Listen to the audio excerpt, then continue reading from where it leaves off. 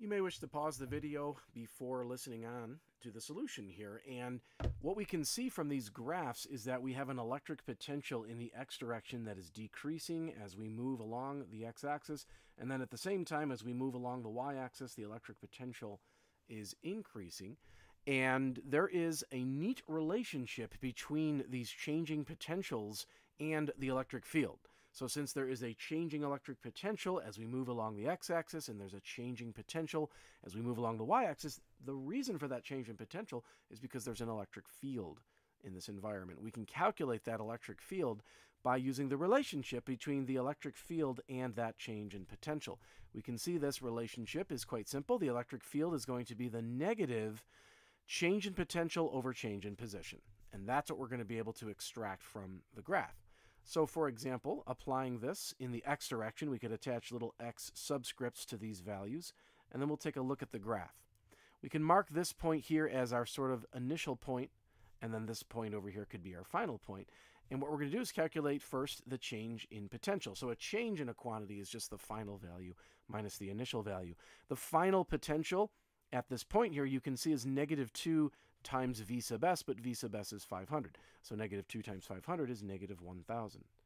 And that is in volts. That's your final potential. Subtract your initial potential, which is 0 volts. And then we're going to divide that by our final position, which we can see from the graph is 0.4 meters. And then subtract your initial position, which is 0 meters. Very good. So you'd pick up your calculator and you would simplify this and you would see that the electric field in the x direction is 2500. This will be in newtons per coulomb. So that we will use soon to calculate the force acting on the electron in the x direction. But first we need the electric potential, excuse me, the electric field in the y direction.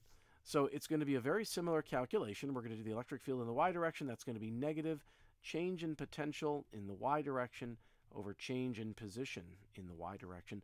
Let's select the origin again as our initial point. The final point is going to be right here. We can choose that as our final point because this is a nice constant slope while the electron moves along the y-axis here. So we can really choose any two points. We choose this one because that electric potential is quite legible from the graph. It looks like we have one, two, three, four, five ticks in order to get to 500 volts which means each tick is 100 volts, and we are at 1, 2, 3, 4 ticks. So 400 volts is that final electric potential in the y direction. So we'll have negative, and then we'll have the 400 volts. Subtract the initial potential, which was 0 volts, and then let's put this over the final position, which again is 0.4 meters, and then subtract the initial position, which is 0 meters. And when we compute that, we get an electric field in the y direction equaling negative 1,000 newtons per coulomb. So now we have the electric field in both the x and the y direction. We can use those electric fields to calculate the electric force. You may remember from a previous chapter that the electric force is very simply the charge value multiplied by the electric field. And this question asked us to compute the force in unit vector notation. So here's how that would work. We would simply, for the x direction, we're going to take the charge of an electron, and then we're going to multiply that by the electric field in the x direction. And then because that's the x direction, we're going to symbolize that by i hat. That's what unit vector notation does.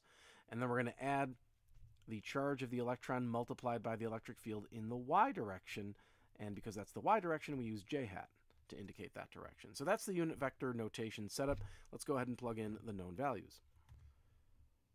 And we've plugged in those values. Notice the charge on an electron is that negative 1.6 times 10 to the minus 19th coulombs. And when we simplify this, in the x direction, it looks like we get negative 4 times 10 to the minus 16th.